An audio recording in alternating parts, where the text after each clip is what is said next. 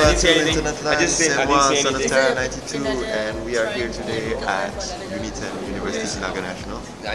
Welcome to Engineer Bootcamp 2013, an intense three day, two night program of pushing the limits of critical thinking, teamwork, and idea making for engineering undergrads.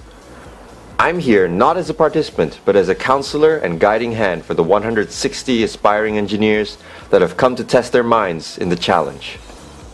But most importantly, I'm here to let loose, freak out, and have fun. This is IBC 2013. It's complete insanity here.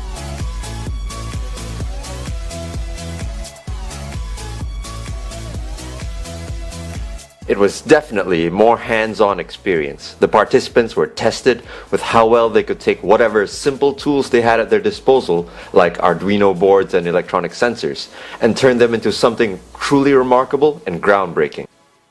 It didn't have to be the next iPhone or Android app, just something that could impact as many human lives in the best way possible.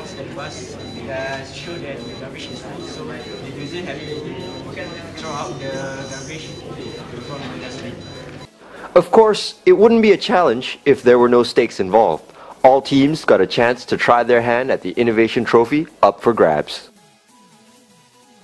All they had to do was master the elevator pitch, an all or nothing presentation style that forced the teams to deliver their brilliant ideas within a short five minutes. Five minutes to everything or nothing at all. That's what the process of engineering is all about, both success and failure. We've seen people here celebrating really awesome successes, but then other groups, when they have no idea what they're doing, they have the guts to pick themselves up and just keep moving on.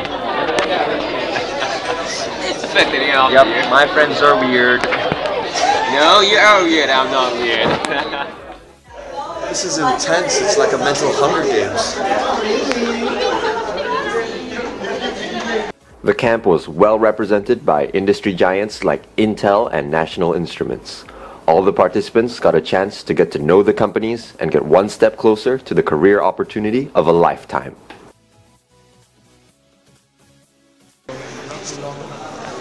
That was it for night one. Everyone was putting forth a lot of really good ideas, a lot of creativity, and a lot of energy. What now? It's party time.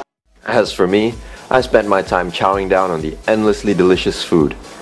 As a camp guide, it was all I could hope for a chance to meet new friends and help them make some really cool stuff. One more, one more. One more time. One more time, one more time. Sound too good already. Try again.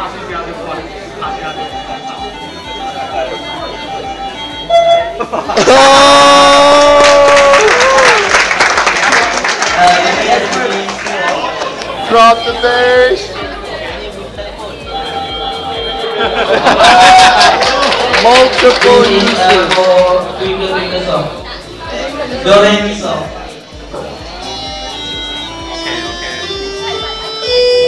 Oh, I can't get enough of that. I can't get enough of that. The event was ended with a prize giving ceremony and student testimonials to wrap it all up. Many thanks to TalentCorp and Dreamcatcher, the key players that helped put it all together. the practical thing is much more effective than standing in, talk, in front and pointing at your 150 word slide.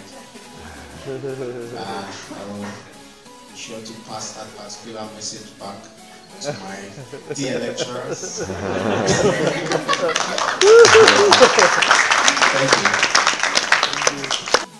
By the end of the event, we were all very, very tired, but eager to put our newfound experience towards building an ever brighter tomorrow and a greater future for all mankind.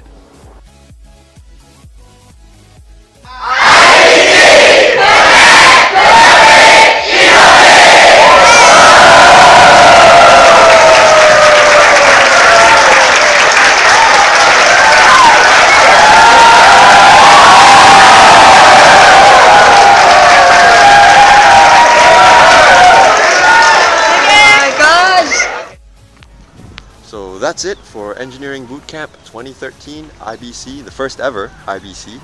Had a lot of fun, met a lot of cool people, and saw a lot of innovation. I'm tired as hell. I can't feel my feet anymore. Oh wait, yeah, they're still there. and I will leave you guys with this dubstep outro.